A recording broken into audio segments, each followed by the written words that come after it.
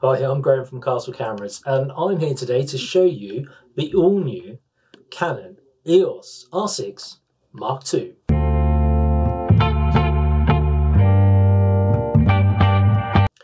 So, as you may have seen from uh, from various press releases and on our website, the all-new Canon EOS R6 Mark II is now out, and here it is. Very excited to have it.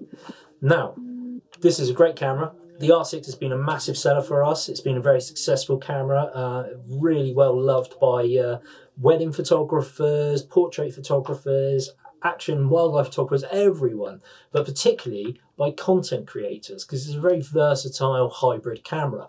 Now, Canon have uh, seriously looked at the kind of people that use uh, the R6 and have really honed and tailored and tweaked a few of the great features uh, that were on the R6 and a few of the, the ones that need a little bit of refinement. And they've come up with the Mark II.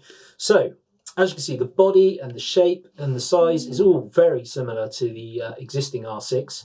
Uh, but we can see there's a few new controls. So over on the back, we have this new control joystick.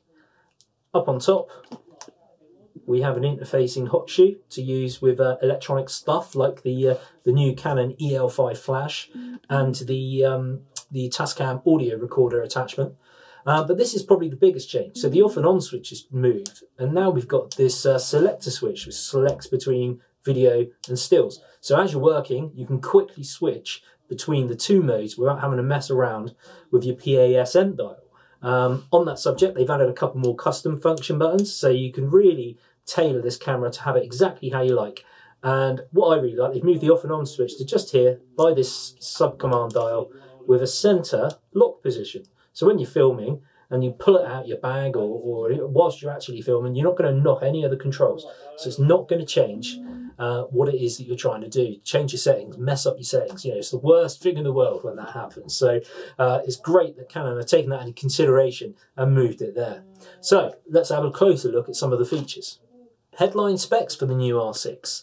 The uh, dual pixel CMOS AF2 system uh, is, is in full effect in this camera and it's got some new refinements. So the, the tracking information has been updated. So now, along with all the uh, pre-existing motorsport tracking that was on the older versions, uh, people tracking, sports, etc. like that, they've updated it. So now it includes trains, planes, and horses. So, uh, depending on what it is that you're shooting, you're definitely going to have a more intelligent AI autofocusing system that will pick these things up.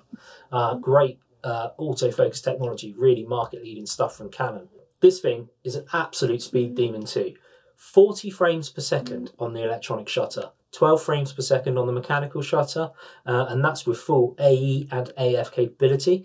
Um, on top of that, we've also got a burst mode, uh, which uh, records at 30 frames per second in RAW for half a second before you actually hit the shutter button. So it just means that you are never, ever going to miss that decisive moment. So they've also made refinements to the in-body optical stabilization. So now in conjunction with the optical stabilization from your lenses, you can expect up to eight stops of IS. So meaning shooting in low light conditions uh, is going to be an absolute breeze.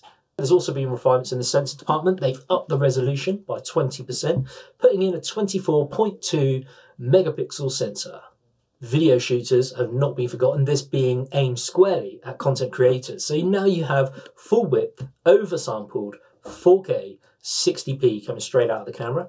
Uh, you can also uh, record 6K uh, RAW via the uh, external HDMI to something like a Ninja, uh, and it will do 180p full frame, uh, full HD.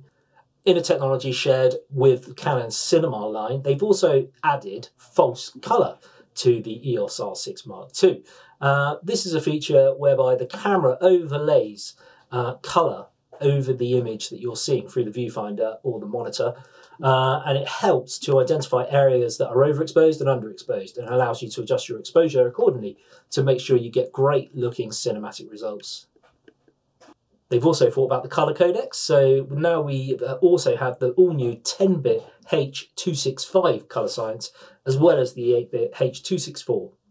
HDR hasn't been forgotten with HDR PQ and full HDR in movie mode. And a great new feature, which I'll try and demonstrate now, is focus lock. So um, when you focus uh, face detection wise on a subject, when they move out of the frame, the focus will remain where the subject was. So not going focusing straight to the background. So for a more professional look, the focus just holds its position where it was focused on the face. There's also another great new feature called focus breathing correction. So a lot of photo lenses aren't designed uh, specifically for movie making. So when you do a focus transition, uh, you get this kind of zooming effect, a slight zooming effect. Now they've built in a correction for this. So with certain RF lenses, uh, camera senses these, applies the correction. So now you can do focus pulls from near to far subjects without any kind of breathing effects. Low light has not been forgotten either. This thing can focus in low light conditions down to minus six and a half EV. That's less than half the light of the moon. So uh, really low light focusing ability. It's also got high ISO of 102,400, which is expandable as well to, to a higher resolution digitally. Um, but yeah, native 102,400. The EVF has also been briefed on. We've got a 3.69 million dot EVF, which uses the optical viewfinder simulation technology from the R3. So now when you look through the viewfinder of the R6 Mark II, it gives you more of an experience that's more alike to an actual DSLR. Uh, so it gives you a bit more dynamic range, makes things easier to see and compose. Other features include dual UHS 2 SD card slots, built-in Wi-Fi and Bluetooth, and you can edit your raw pictures in the cloud. This new version of the R6, the EOS R6 Mark II, is going to be a big hit, we are sure. The R6 was such a great seller. Uh, the R6 II can really do no wrong. It just simply takes what was great about the R6 and just elevates it to a whole new level. This thing really is uh, a do-it-all tool for, for pros, advanced amateurs alike.